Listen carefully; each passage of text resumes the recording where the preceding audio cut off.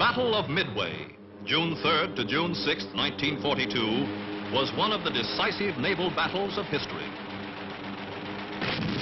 The engagement was decided entirely by air power, with no surface gun action.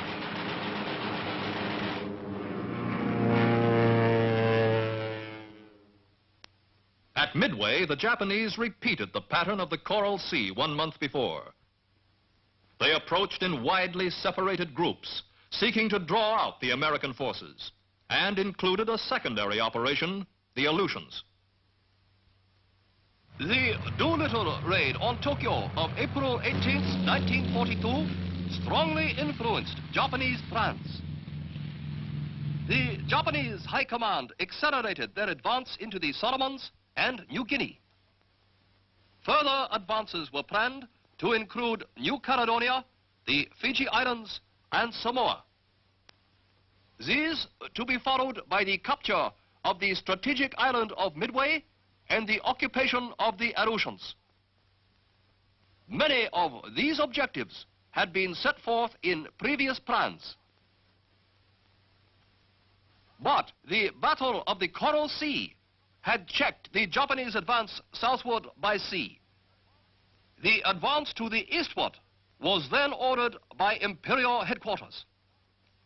Thus, the lines of American communication would be cut, the areas west of Pearl Harbor would be denied, the balance of naval power in the Pacific would be upset.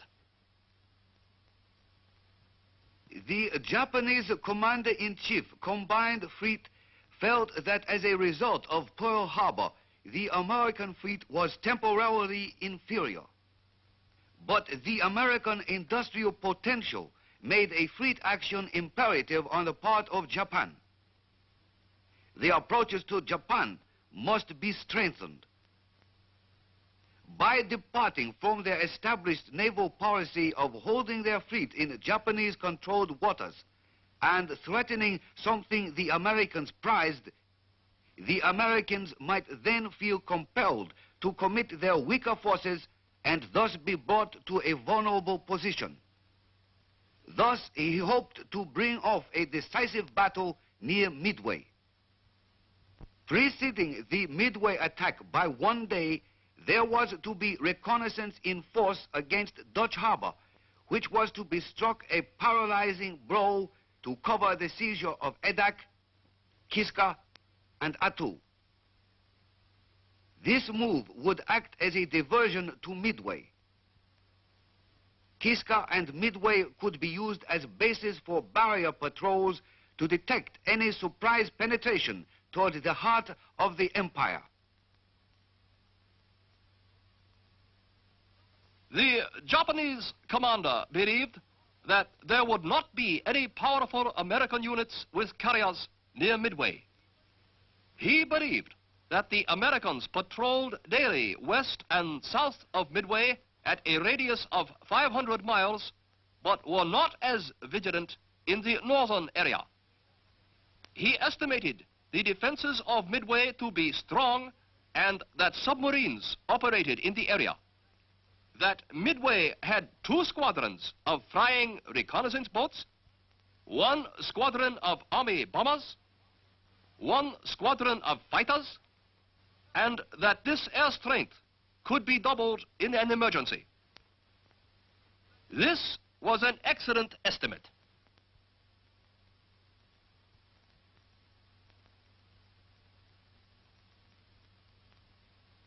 Here is the Japanese commander's estimate of the American surface units in the Hawaiian area.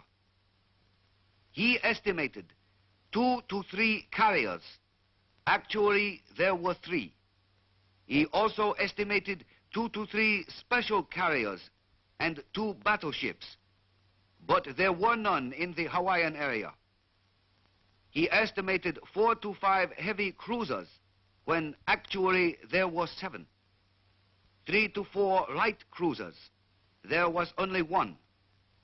And four very light cruisers, of which none were present. His estimate of 30 destroyers was correct.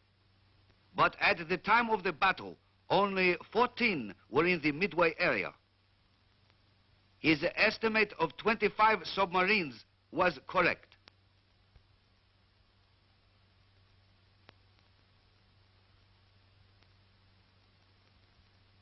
The Japanese commander of the Aleutian forces believed that at Dutch Harbor there were considerable military installations and patrol craft, but he felt it could be captured easily.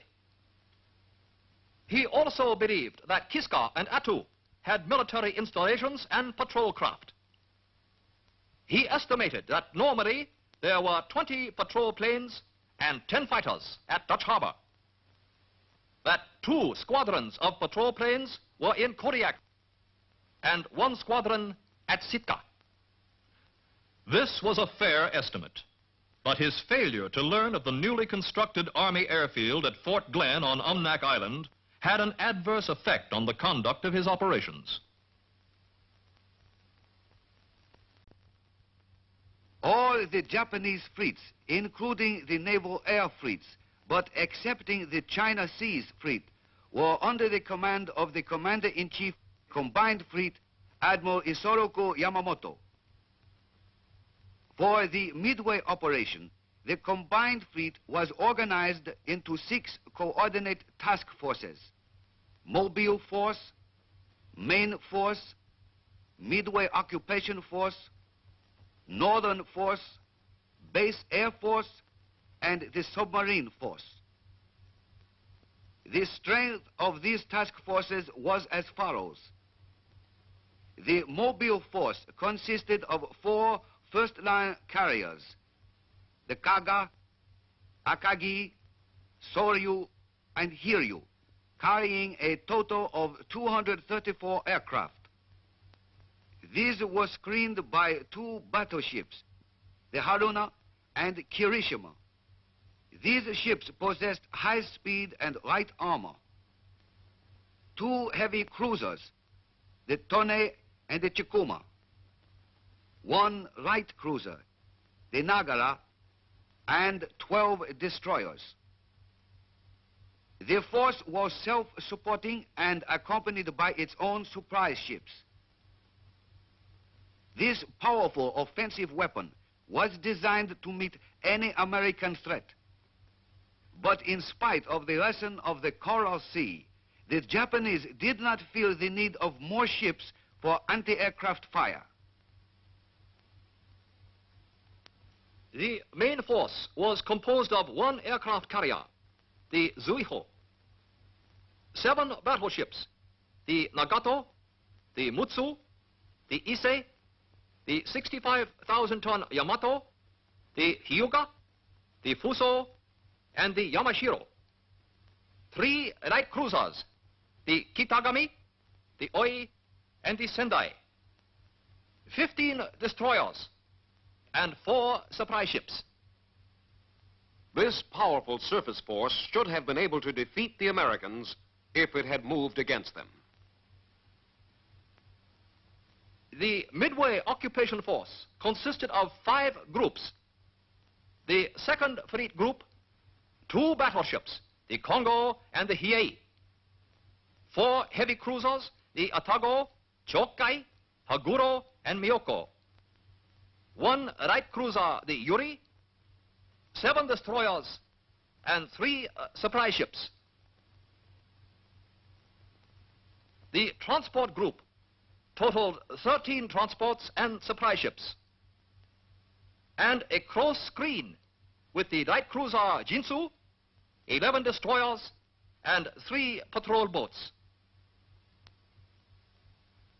The close support group, four heavy cruisers, the Kumano, Suzuya, Mogami, and Mikuma, screened by four destroyers. The seaplane tender group and the minesweeper group.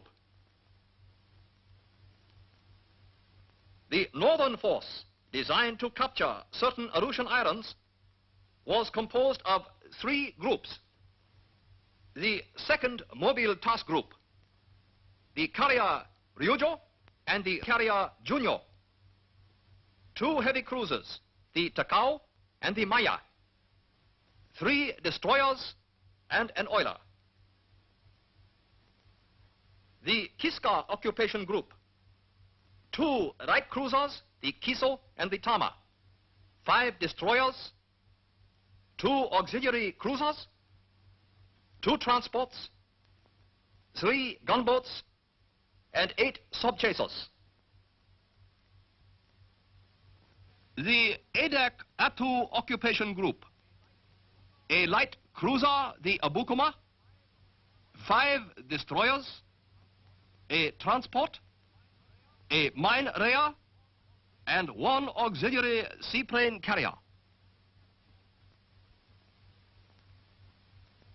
The Japanese forces proceeded toward their destination more or less independently.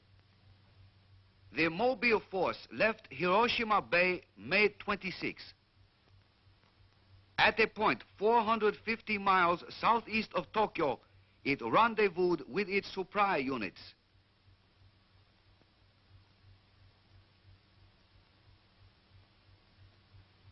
On June 3rd, it was 600 miles northwest of Midway. The main force also departed Hiroshima Bay May 26th.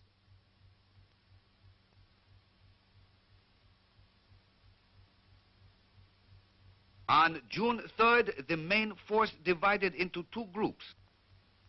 The main group and the Aleutian support group, which headed toward the Aleutians. The Midway occupation force left Japanese waters in widely separated groups. The mine sweeper group departed Saipan May 25th for Midway via Wake Island.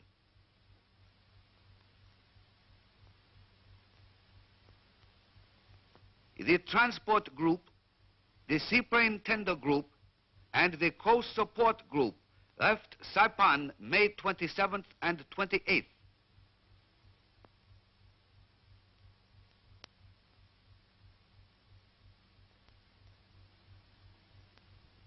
The second fleet group left Japan May 28th.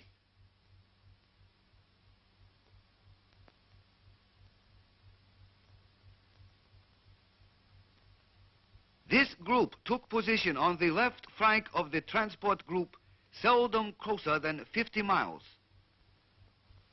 The northern force left Japanese waters in three separate groups.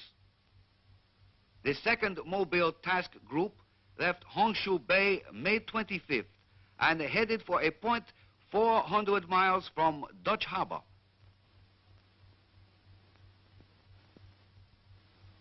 The Kiska occupation group left Honshu Bay on May 27th for Paramushiroto and from there departed for Kiska Island on June 1st. The Adak Attu occupation group left Honshu Bay on May 28th for the Aleutian waters.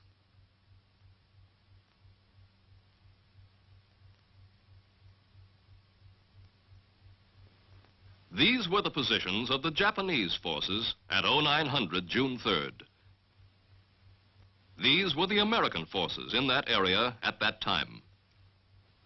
Throughout this film, the movements of the Japanese forces will be shown in black, the American forces in white. The broad Japanese plan for the Midway operation appears sound, but the wide deployment of the principal forces does not appear sound. The main force could not support the mobile or the occupation force unless they retired upon the main force, which was 600 miles to the westward of the mobile force and an equal distance to the northwestward of the occupation force. The deployment of the northern force was well planned. The raid on Dutch Harbor did succeed in furnishing a diversion from Midway.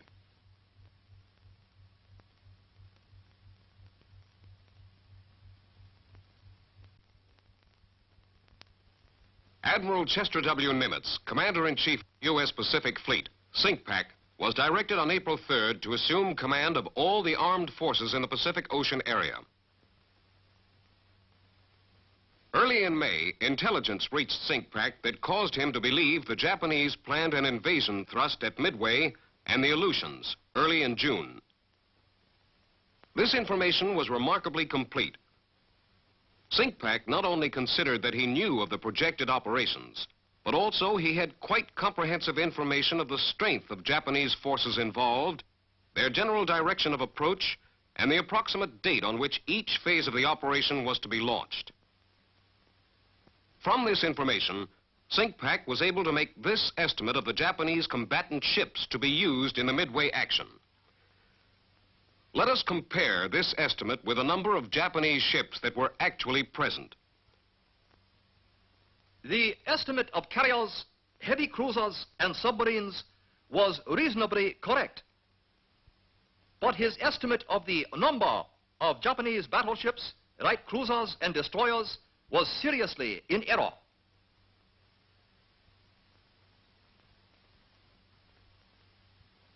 Commanding Officer Naval Air Station, Midway, expected that the Japanese carriers would not launch their planes at a greater distance than 200 miles. A search to 700 miles, the limiting radius of a PBY under bomb load, seemed adequate to meet this condition. He placed in operation a 22-plane search with PBYs.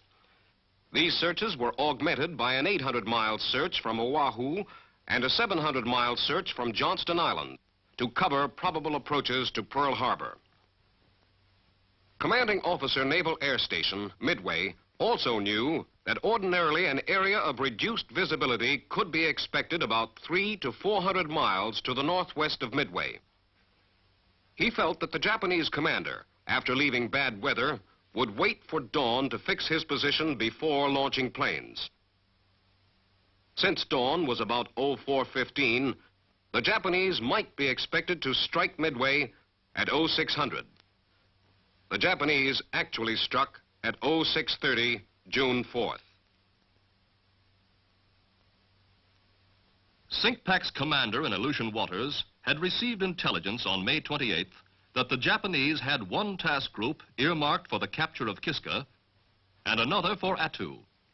But he feared that this information was a deception to draw the American naval forces westward so the Japanese could move in behind them. He estimated that the most probable area of a Japanese landing would be the Umnak Dutch Harbor Cold Bay area and decided to defend this area.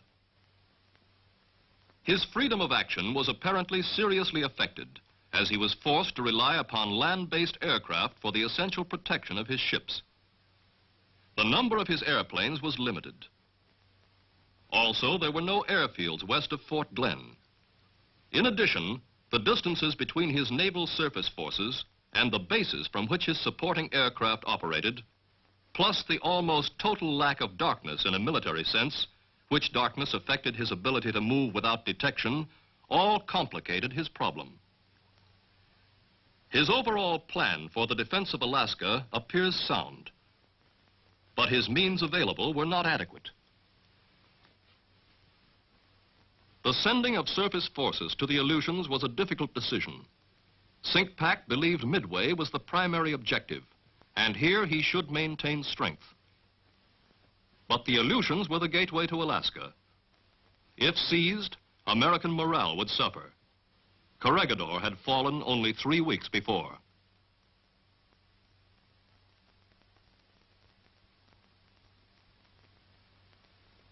On May 12th, Commander-in-Chief U.S. Fleet, Cominch, and Chief of Staff, U.S. Army, informed all subordinates that area boundaries should in no way restrict operations aiding the common cause. This avoided the boundary restraint of the Coral Sea action. On May 14th, a state of fleet-opposed invasion in the Hawaiian coastal and sea frontiers was declared. The principal responsibility to oppose the invasion was given to the Navy with unity of command in CINCPAC. On May 21st, Cominch declared a prospective state of fleet-opposed invasion in the Aleutians. At the same time, CINCPAC formed Task Force 8, the Northern Pacific Force, under command of Rear Admiral Robert A. Theobald, U.S. Navy, to oppose advance of the enemy in the Aleutian-Alaskan area. Commander Task Force 8 designated the Naval Air Detachment, Alaskan Aleutian Area, as Task Group 8.1 under command of Captain L.E. Gehres, U.S. Navy, and the 11th Air Force as the Air Striking Group, Task Group 8.3 under the command of Brigadier General S.B. Butler, U.S. Army. This was not in accordance with the Joint Chiefs of Staff directive that in order to obtain unified air operations, Commander Alaskan Army Air was to command all Army and Navy air groups in Alaska. By this division of command, unity of command of all air forces in Alaska ceased to exist. Task Force 1, composed of the old battleships, was located at San Francisco. It took no active part in the battle.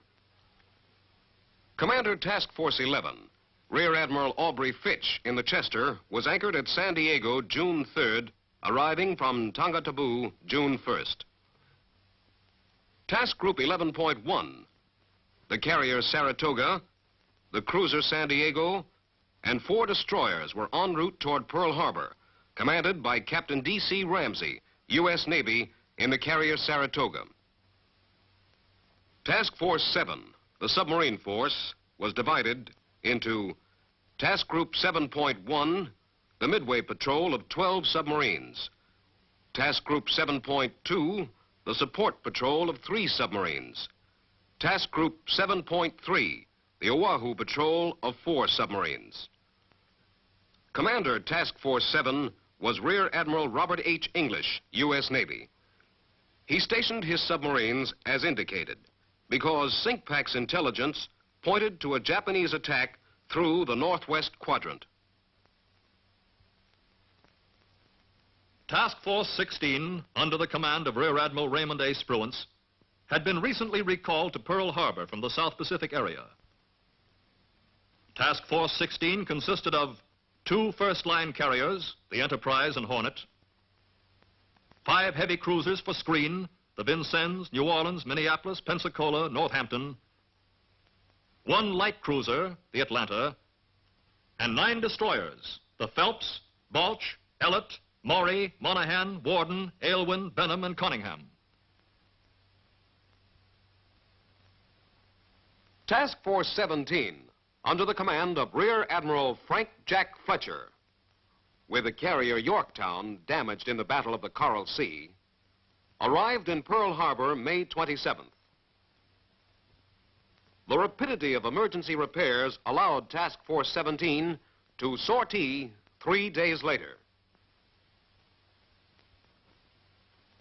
Task Force 17 had the Yorktown, a screen of two heavy cruisers, the Astoria and Portland, and five destroyers, the Russell, Hughes, Morris, Anderson, and Hammond.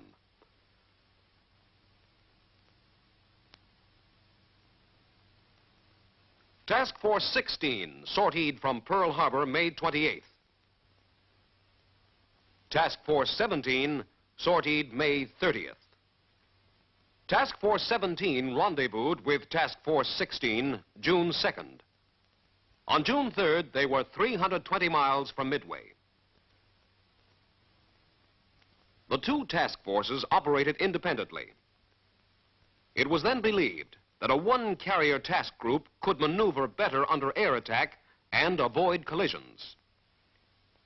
This striking force, Task Force 16 and Task Force 17, was the main opposition to the seizure of Midway. Its air groups were well trained, although the Hornet crew lacked combat experience in the Pacific.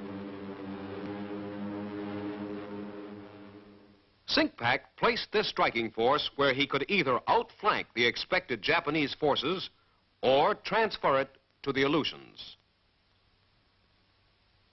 Cominch directed CINCPAC to oppose the Japanese forces by attrition tactics only and not to unduly risk cruisers and carriers.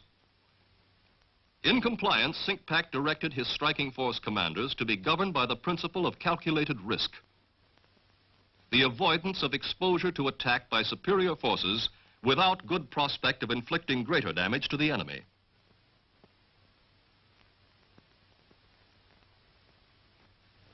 This completes the background for the actions at Midway and in the Aleutians.